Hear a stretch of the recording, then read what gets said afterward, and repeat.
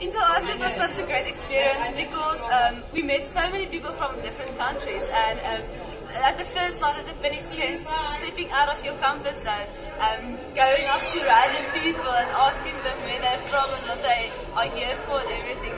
Um, it was such a great experience just to be able to be in this wonderful country um, and represent our country at the Eskom Expo for Young Scientists um, and yeah, to just embrace this whole adventure. Yeah, it was great for me um, to be able to meet other people. Um, I made a friend in math, math category. Such a weird guy, but I love him. and it's awesome to be here in Pittsburgh. Landmarks are amazing, friendly people. Yeah, I'm really not not spite of anything really. Yeah. I enjoy seeing how other people uh, are trying to resolve and are resolving problems uh, that, um, affects people all over the world.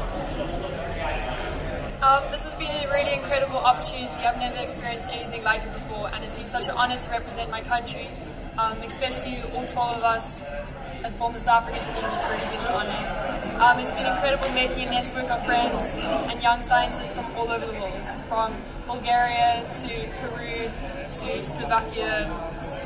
It's, it's been an amazing opportunity. And on behalf of the whole team, we'd like to thank Eskom Expo for Young Scientists for Yeah. funding this. Thank you very much.